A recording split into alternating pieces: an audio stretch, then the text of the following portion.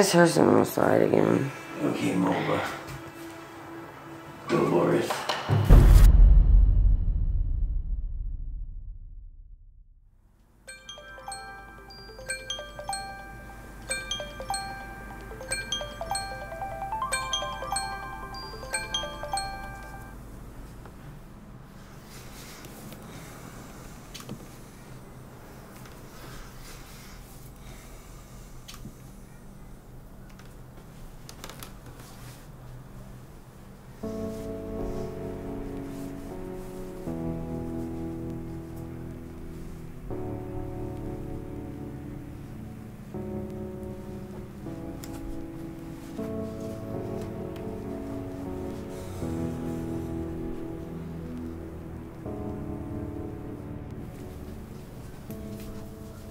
Was born in Bay City, Michigan.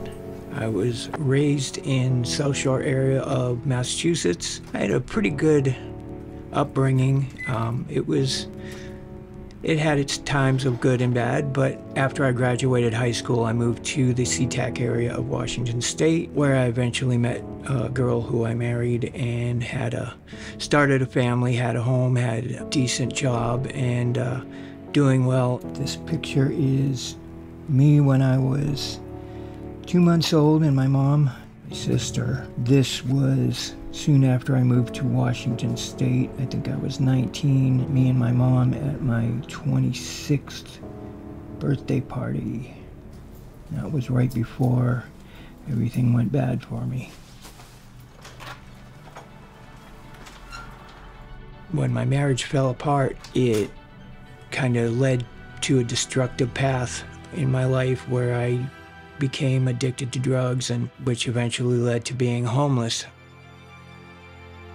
And when I came to Florida in the year 2000, I was hoping it would be a change, but it just never changed. I was immediately back doing the same things. My biological father committed suicide. My stepfather abandoned me. There was a lot that put a wedge between my family and me.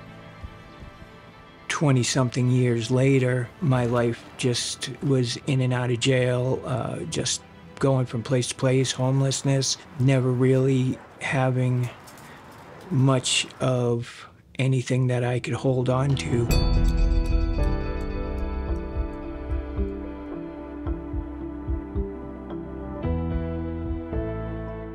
Darrell. He came over to do some yard work for me. He had put a sign out in front of his mom's house and he came over. It was in 2016 and he had just gotten out of prison and he got caught down, I think, West Palm area for making meth. I think he, he spent about a year and a half or two years in prison. He looked pretty good then.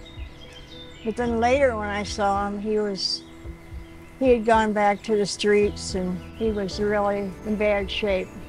It led to a lot of physical problems and also a, uh, a, a tragic event where I um, was attacked while I was sleeping and didn't realize that my brain was bleeding afterwards and I collapsed, fell into a coma. It was, you know, looking like the end. My mom had got a call for her to come down and take me off of life support. She kind of put it off and in doing so, um,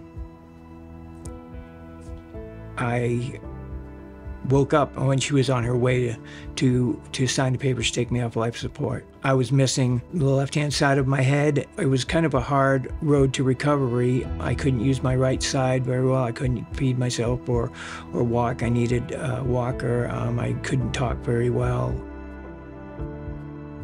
My mom brought me here to her home and uh, helped me get back to where I needed to be health wise, but mentally I was still in that place of addiction and brokenness, and which led to I, I went back out and used again, and um, something told me to stop after a week, and I came back, and that's uh, when Steve Cooper came to my door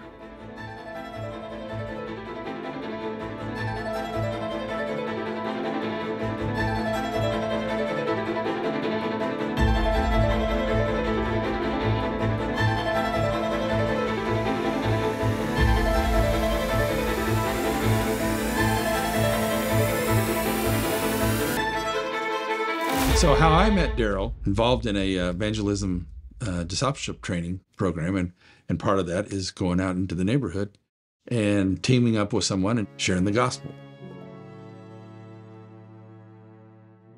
And he came to the door, and uh, if there was anything he needed prayer, and he shared a little bit about he's living with his mom, and and yes, he could use prayer. We got to share our testimony about what God had done in our lives, and uh, if he's interested in doing some kind of a Bible study or something like that to learn more about God, we would be very interested in meeting it at another time if he would be willing to do that. And he said he would.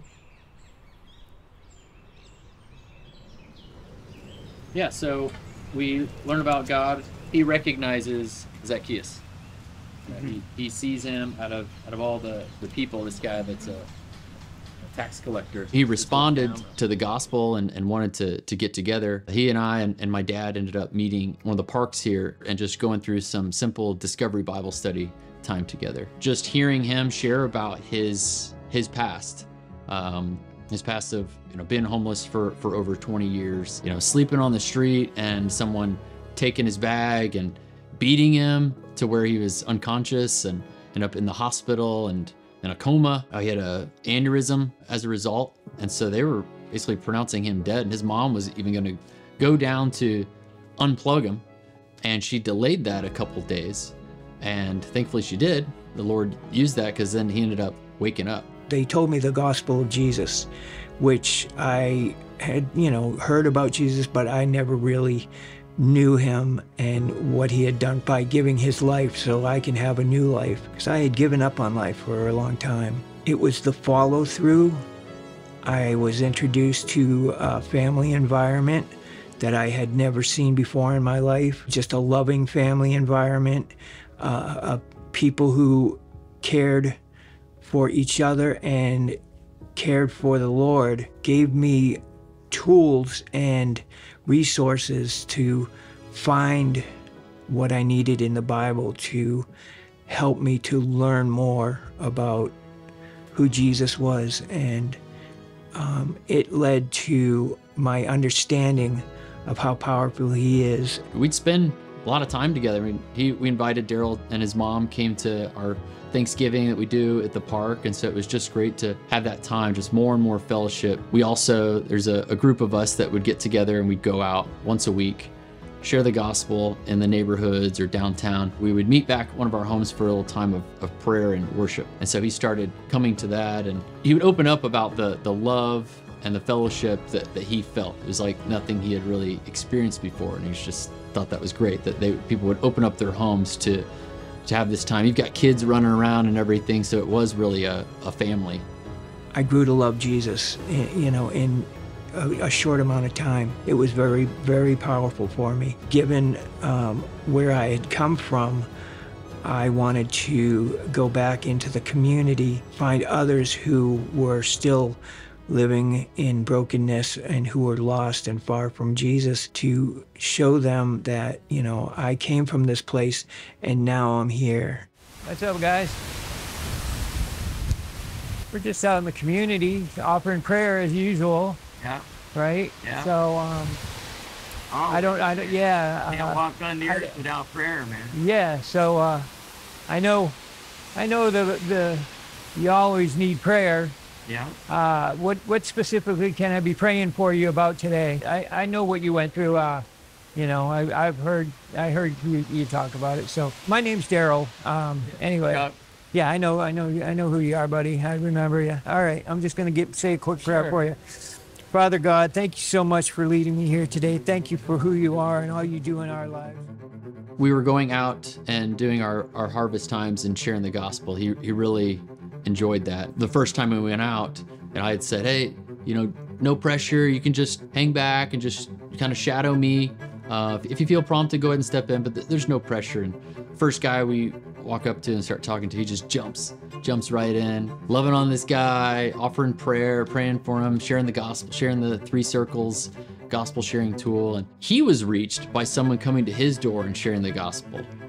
And so it's like, hey, I want to go and, and do that that same thing. That was modeled for him. So now he's wanting to go and do that. He started talking about like, hey, this idea of doing kind of a discovery Bible study focused on the homeless and kind of promoting that in, in some way in the community. Uh, I don't fully believe in all that. I believe, you know, I believe the earth was created. I believe the trees and the sky and the moon, stars. I believe all that was created, but I ain't sure that God created it. Well, then who would create it? I don't know. So if, you know, as as human beings, um, do you do you say it was created, but you don't think that we as humans created it, right? No, it was, it was no, a supernatural being, right? It was it was something supernatural that had the ability Some way more intelligent than us. Right. We're not intelligent enough to create a tree, Right. you know. It, it took someone way more intelligent than all of us. I don't believe people done it, Right. you know. So I lived it. I, I was on the street where where I was Yeah. overlooked and, and persecuted and beat up by police just because they could. And God bless you, Darrell, that, that you experienced that and you came out of a, a, a hole uh, as a better person and, and, and uh, inspired to do a mission. now. But but that was only because of the Holy Spirit that did that to me. It's not enough for people in a church to say, yeah, I'm saved by Jesus. You have to live that way. You have to go out there and help your, your, your brother who is suffering. Right. And if you just go to church and say, yeah, I'm saved by Jesus, and then Monday morning go back to life as normal, no. Jesus himself says that's not going to do it. That's why that's why we do what we do. We come out here and, and give of our time and of Yeah, our resources. You've got to live that message. right. How do you get that message out there into a society that condemns poor people? It's one person at a time. One one true believer at a time. You know, yeah, I, I understand, you know, there are churches and, and ministries that do things for the homeless and for the poor, but they aren't willing to do things with the poor. They, they'll drop something off and go. But you and I, we sit here and we, you make breakfast. We, we talk with people. We get to know them and their lives. A lot of times, homeless people are overlooked by society. Um, a lot of times when I was there, just anybody being kind to me was a blessing because, you know, uh, people can be mean, you know. Um, there are so many places that are willing to do things for the homeless, but not with the homeless. And that's where I want to make a change is to go and, and do things with these people. I've got to know some really amazing people. Sometimes it's very encouraging, sometimes it can be dis- discouraging, but still I persevere because Jesus never gave up. I want to do everything I can to bring honor and glory to him, not not to myself. I don't do this for for my own glory. I do this to bring the hope of Jesus to others.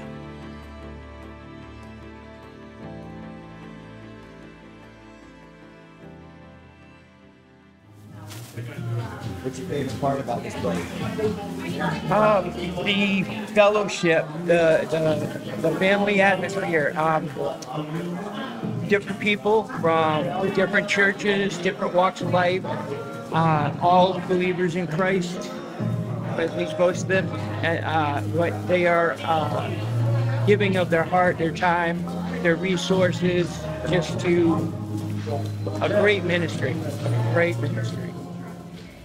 All right, bow, please. Heavenly Father, uh, we come to you, Lord. We come to you very humbly. We come to you, Lord, and uh, just lift you up. And uh, we know that you're almighty. We know that you're the God that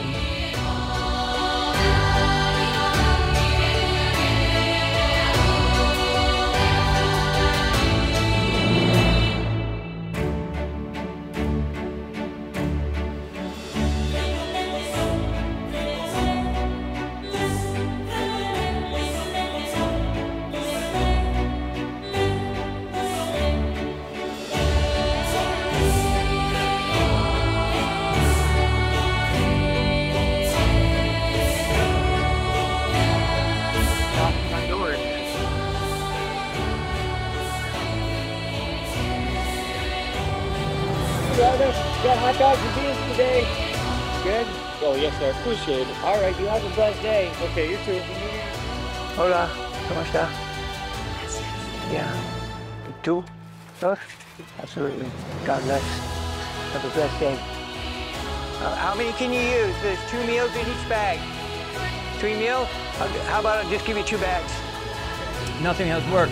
Not not jail, not not injury, not um, you know, uh, prison, nothing, nothing. I went to uh, rehabs, AA, you know, all, all these things. Nothing, nothing did it. It was the Holy Spirit that, that changed me and, and removed that affliction from my life. I, I haven't been able to keep up with him. He's been so busy. And it's wonderful. It's the most wonderful thing that ever happened to me, being a second mother to him. but it's a great story, and it's not a story, it's true. You know, we all have uh, some kind of testimony, or, or there's someone in our life that you're just like, oh, there, there's no, there's no hope for that person. You know, deep down, it's like to see Darrell, to see how the Lord used him and turned his life around is really inspiring because it's like there's there's no no one that he can't save. God has the power to to do anything, and it's just so amazing to see that change in Darrell. Uh, and I'm blessed to be able to to see that. It continues to encourage me to stay involved and to do- go out into the harvest. I'll admit I'm still nervous about doing it, in spite of what's taken place with Darrell. It's like, but it also is encouraging me to look at what has taken place in Darrell. So here we go. I was gifted through uh, a great couple, Dave and Heather, who have a bike shop. My church friends that uh, pitched in and got me a e-bike. The bike shop gave me a trailer also, so I'm able to load it with food, clothes, sleeping bags, whatever I, I have available to give out, and am able to go into the community and and reach these people rather than trying to carry it somewhere or them having to go to me. I can go out and meet them.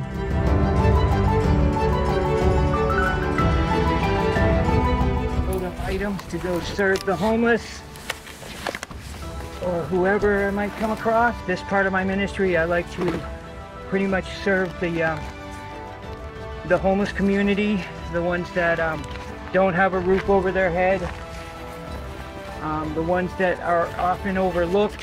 Go out and uh, just show them kindness, the love of Jesus.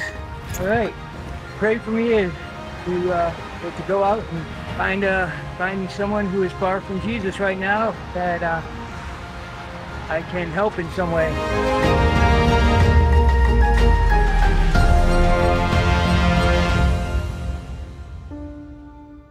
I was homeless and it put a wedge between my mother and I. Um, she is the only one left in my family. My sister passed away in 2013. She was comfortable living by herself, but she allows me to sleep on the couch in her front room, and and I'm perfectly content with that. Uh, we have a we have a great relationship now, and uh, I, I believe it's the first time since I was little that she feels that she could be proud of me and for what I've been doing. And and it's only been through